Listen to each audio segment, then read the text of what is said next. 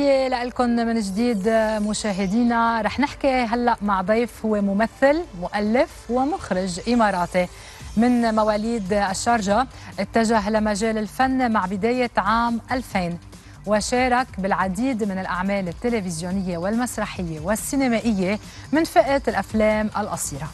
كما انه كاتب مسرحي حائز على جوائز عديدة في مجال التأليف المسرحي وحصل على الجائزة الأولى في الدورة الثانية من مهرجان العين السينمائي عام 2020 في مسابقة الصقر الإماراتي القصير كأفضل فيلم عن فيلمه نيتين الذي شارك به وشارك في أفلام من الإمارات وله عدة من تجارب إخراجية لأفلام قصيرة ويعد من أهم الكتاب الشباب في الإمارات.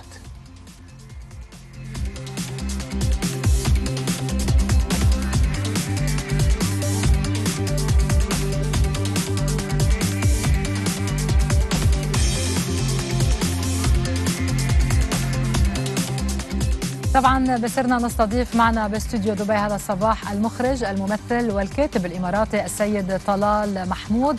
طلال محمود الحوسني أو طلال محمود لأنه في اسم العائلة الثلاثي ولكن في الاسم الفني يلي غالبية المشاهدين بيعرفوك فيه. صباح الخير. صباح النور. في البداية أول شيء أحب أرحب فيكم وأشكركم على هاي الاستضافة. أهلا وسهلا. ثاني شيء طلال. بكل بكل باختصار صح؟ هو طلال. دائما حتى أقول لهم أنا لو حد يناديني مجرد طلال بس. طيب طلال. طلال. طلال بدنا بداية عرفنا المشاهدين نحن عنك طبعا عن إنجازاتك عن الجوائز اللي حصلت عليها عن أبرز الأفلام. ولكن إذا بدي أرجع للبدايات. حتى شاب إماراتي يقرر دخول معترك الفن لا سيما التمثيل الكتابة والإخراج. شو كان الدافع؟ هو الدافع من الطفولة. يعني أنا من جيل الثمانينات تربينا على السينما. صرنا اثنين. ف يعني حبي للأفلام مشاهدتي للأفلام والمسرحيات القديمة خلتني أدور المتنفس والتحقت بالمسرح عن طريق في البداية في الشارجة عن طريق الأستاذ مرعي الحليان. نعم. فرشح لي كذا مكان ويرشحني على الاساتذه انه روح مثل هني كذا. لين ما وصلت شفت نفسي فجأة في قاعة مسرح في مهرجان وراح أمثل دور ميت كومبارس يعني. دور عفوا؟ ميت. فكانت البداية قالوا هذا ميت ولكن صحى عشان يكمل دربه. فمشت. عبد الله امبارح كان عم بخبرنا إنه أول دور لأخوه كان الشجر إيه هاي يعني الشجره وميت. بعد الشجرة في حياة يعني. أما كدور ميت دور صعب ترى إنك أنت تمثل دور ميت على خشب المسرح. انه بدك تضل جامد لفترة طويلة من الزمن. ممنوع تأتي أي حركه صح؟ صار علي ظلام ما بينت أصلا. كان في في ديكور مغطي علي وجهي للجدار وظهري للجمهور. خلص المشهد. خلينك نزين على خشب المسرح؟ كومبارس أحدهم. طلال طلال طبعا نعرف إنك أنت ممثل وفي نفس الوقت مخرج ومؤلف. الحين خلينا نتكلم على طلال الممثل والمؤلف. أيهما أقرب إلى قلب طلال؟ ورأيك في النصوص اللي موجودة في, في المجال سواء نصوص درامية نصوص كوميدية وإلى آخره. شو أنا أنا دائما أقول حق الناس إني أنا أقسم نفسي ثلاث أقسام. يعني أنا طلال اللي يمثل يوم يطلبونه كممثل هو شو يحب طلال يحب يكتب ويخرج أكثر. وإخراج نتكلم عن الأفلام أو الصورة. نعم. أنا ما أحب إخراج المسرح يعني ما ما أصنف نفسي مخرج مسرحي. ولكن في الكتابة لأن كل شيء أبي أقوله من حكايات الناس أقدر أقوله وترجمه على خشبة مسرح أو في السينما أو حتى لو أقول فيلم قصير. فاللعبة هذه إن أنت تاخذ الحكايات من الناس وترد تردها لهم بطريقتك. فأنا أحب هاي الطريقة. فأميل أكثر شيء لأن يكون المخرج المؤلف المخرج أو المخرج اللي بيكتب أفلامه ومسرحياته بشكل عام. أما رأيي أنا لو بتكلم عن رأيي أنا في النصوص الدرامية سواء بتكلم عن المسلسلات أو السينما عندنا فأحس إن المفروض نطلع برا الإطار اللي قاعدين نشوفه المكرر حاليا.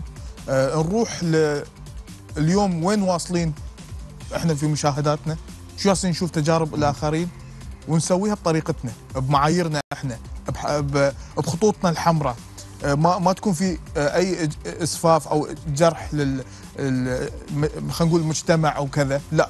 نفكر صح نقدم صح وراح نلقى شريحة كبيرة من المجتمع يشوفنا لأن هم بيشوفون حكاياتنا حكايات البيئة. إحنا ما قاعدين نشوف حكايات البيئة إحنا قاعدين نشوف قص ولزق.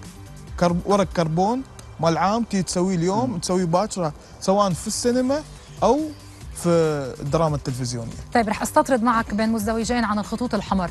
العديد من الفنانين أو المبدعين بالمجال الفني بيعتبروا أنه الخطوط الحمر ممكن تأيدهم.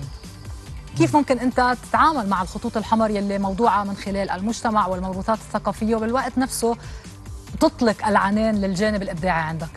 هي المعادلة سهلة.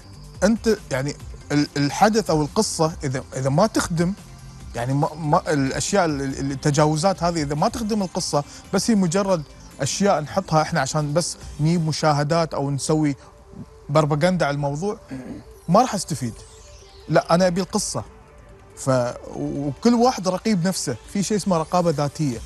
فأنت لما تيجي تقول الحكاية من خلال فيلم أو مسرح أو تلفزيون أنت عارف إنك ما راح تقحم أشياء ما لها داعي. نعم. إلا للضرورة الدرامية القصوى وحتى هاي تقدر تتحايل عليها دراميا اخراجيا فما راح تأذي المشاهد أصلا. نعم. نعم. طلال آه، خلينا إذا بنتكلم عن آه، حصولك على الجائزة الأولى في في الدورة الثانية من مهرجان العين السينمائي. آه، خبرنا عن هذه الجائزة وعن وعن فيلم نيتين طبعا بالذات. والله هي تجربة يعني أنا بالنسبة لي الجائزه أصلا جتني كصدمة. لأن أنا ما توقعت أصلا إن هاي التجربة تطلع للناس يعني. هي تجربة خاصة. أنا كنت في الهند ناوي أصور فلوجات أكل. بعد ما ضعفت يعني قلت الحين بستوي فيها اللي يصور فلوجات و فصادف إني أنا تعرفت على طفل عمره سنتين من أطفال الشوارع في بمبي. فيوم جيت في الزيارة الثانية انخطف. رحلتي إني أدور على الولد. ما عندي شيء ثاني في الحياة. اكتشفت إنه ما عندي شيء ثاني في الحياة غير هالولد اللي غيرني يعني. هو غيرني أصلا شخصيتي. فاضطريت اني أتنقل من ولاية لقرية لكذا لين ما قدرت أجيبه وأرجع لبمبي. وتوثق هالشيء بدال ما يتوثق الفلوج مال الأكل.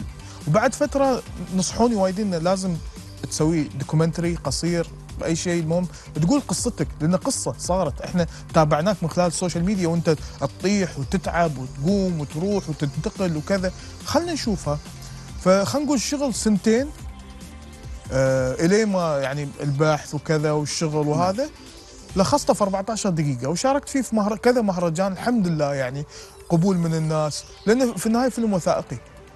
يعني حقيقي.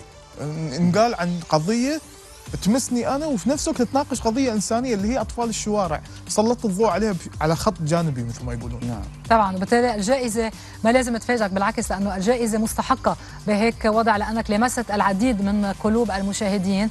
نحن طبعا كان بودنا يكون للحديث تتمة ولكن بدنا نشكر وجودك معنا طلال محمود الحوسني ممثل مؤلف ومخرج إماراتي وبدنا نتمنى لك كل التوفيق بالأعمال القادمة وإلى المزيد من حصد الجوائز. شكرا.